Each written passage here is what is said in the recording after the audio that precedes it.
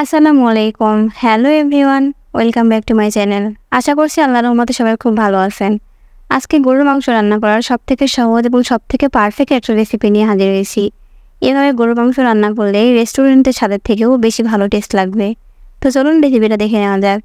প্রথমে আমি গরুর মাংস কেটে ধুয়ে রেডি করে নিয়েছি, এখানে মোট মাংসের পরিমাণ প্রায় চার কেজি। আমি যে উপকরণগুলো ব্যবহার করতেছি, চার কেজি মাংসের জন্য প্রযোজ্য।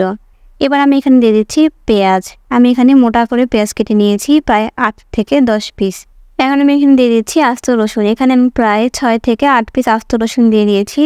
এবার দিচ্ছি আদা বাটা। এখানে আমি মাঝারি সাইজের চামচ দিয়ে দুই চামচ আদা বাটা দিয়ে দিয়েছি। আর দিয়ে দিচ্ছি সাদা এলাচ, দারচিনি এবং তেজপাতা। আমি এখানে তিনটে তেজপাতা, প্রায় পনেরো থেকে বিশ পিস সাদা এলাচ এবং দশ টুকরার মতো দারচিনি দিয়ে দিয়েছি। এবার আমি এখানে দিয়ে দিচ্ছি শুকনা মরিচ। এটা আপনারা চাইলে স্কিপ করতে পারেন। শুকনা মরিচ এবং আস্ত রসুন কিন্তু তরকারির কালারটা বহু গুণে সুন্দর করে দেয়। তো এবার আমি এখানে দিয়ে দিচ্ছি স্বাদ অনুযায়ী লবণ। আমি চার কেজি মাংসের জন্য প্রায় আড়াই চামচ লবণ দিয়ে দিয়েছি। তবে আপনারা স্বাদ অনুযায়ী লবণটা দিয়ে দিবেন। এবার দিয়ে দিচ্ছি হলুদের গুঁড়ো। হলুদের গুঁড়ো পরিমাণ আমি আড়াই চামচ দিয়ে দিয়েছি। এবার দিচ্ছি মরিচের গুঁড়ো। দুই চামচ জিরে গুঁড়ো। দিয়ে দিচ্ছি দুই চামচ ধনিয়া গুঁড়ো। এবার আমি এখানে দিয়ে দিচ্ছি রাঁধুনি গরুর মাংসের মশলা। আমি এখানে ওয়ান ফোর্থ কাপ গরুর মাংসের মশলা দিয়ে দিয়েছি। এবার দিয়ে দিচ্ছি রান্নার তেল।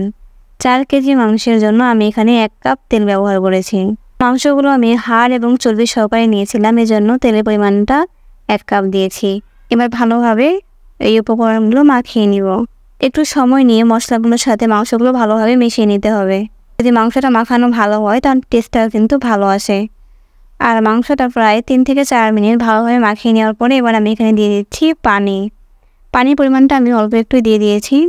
মাংস থেকে কিন্তু এমনি থেকেই পানি ছাড়ে সো বেশি পানি দেওয়ার প্রয়োজন নেই। আবার এই মাংস কিন্তু পানি ছাড়াও রান্না করা যায়। সেক্ষেত্রে চুলাটা একেবারে লো হিটে দিয়ে রান্না করতে হবে। আমি একেবারে লো হিটে দিয়ে রান্না করব না, এই জন্য একটু পানি দিয়ে দিয়েছি। এবার এটা চুলায় বসিয়ে দিয়ে একটু নেড়ে চেড়ে ভালোভাবে মিশিয়ে নিচ্ছি। আর ঢাকনাতে রেখে দেবো মাংসগুলো সেদ্ধ হওয়া পর্যন্ত। আর মাঝে মাঝে অবশ্যই ঢাকনা সরিয়ে নেড়ে দিতে হবে যাতে নিচে লেগে না যায়। আর আমি যে পানিটা ব্যবহার করেছি সেই পানি দিয়েই কিন্তু মাংসটা রান্না কমপ্লিট হয়ে যাবে।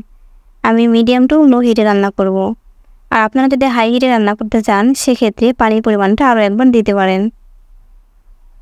মোট কথা মাংস সেদ্ধ হতে যে পানির প্রয়োজন সে পানি দেবেন।